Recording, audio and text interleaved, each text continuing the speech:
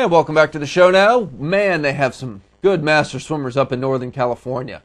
At last weekend's Master Short Course Nationals, Walnut Creek's uh, swim club easily swam away with the team title. The meet was only a couple hours away from their home, but no matter where the meet is, Walnut Creek always a staple on the national scene.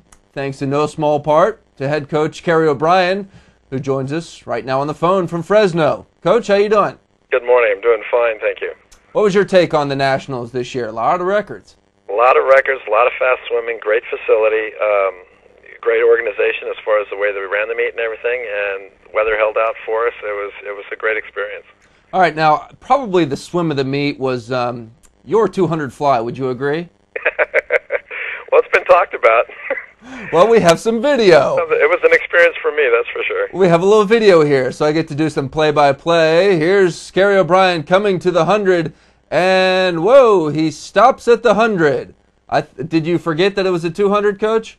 Uh, no, no, no. It was very, very ripe in my mind. Okay, then you proceed to stop at the wall of every 25 afterwards. Explain what in the heck was going on. Well, it gave me a chance to talk to some of my friends that were at the other end of the pool. Um, my, my my plan was I knew I wasn't going to get a chance to swim the 100, and I shaved and rested for a 200 earlier in the season because I just knew how busy I was going to be this weekend. So it, it kind of let me off the hook to just kind of train for the 100, and uh, but I knew if I if I wanted the time to count for rankings, I was going to have to complete the 200 legally, and that was the best way I was going to find to do it after going out so hard.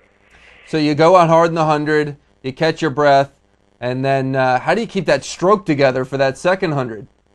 It was a lot harder than I thought it was going to be. You know, just sitting on the wall there, letting that lactic acid sit in the muscles didn't help very much. But uh, I had good encouragement from both ends of the pool, so that helped too. Okay, so you learned the hard way. It's best not to go out all out in the first hundred of a 200 fly. No, no, I don't think we'll be doing that again anytime soon. All right, speaking of your busy weekend, I, I understand you had some interesting commuting back and forth from the meet in Fresno to Walnut Creek. What was going on? Well, I have a, high school team. I coach at Contra Costa Christian High School, and as it happens, it was our league championships were the same weekend, and it is my last year of coaching there for five years, so I wanted to make sure that I was available to be there for their last meet. So it just required some back and forth driving to get up there, to, to get down here to set up the meet, to swim the thousand, bolt out of there, get up there, do some practices, swim their meet on Saturday, bolt back down here to try to get some swims in on Sunday. So, uh, but both both teams did excellent. So as as, as a coaching goes, it's, I've never had a weekend, you know, better than this one. Put some more miles on the car this weekend, huh? Yeah, I did. I mean, oil change once again. so the kids did well. They did very well, very well.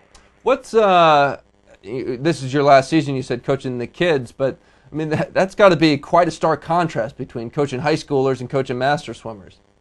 In, in, in some respects it is, but uh, in some respects it's very much the same in that you have some in both in both sides. You have some very very capable and experienced swimmers, and you have some very very new raw people too that that take a little bit more time. But you know the uh, the, the learning curve is so steep for some of them on both masters and and kids. Kids, there are some similarities, and and I like them both. I enjoy them both. Uh, a little piece of me is going to be sad to see the kids go, but uh, you know, it gets me back to what I'm supposed to be doing, which is taking care of my team.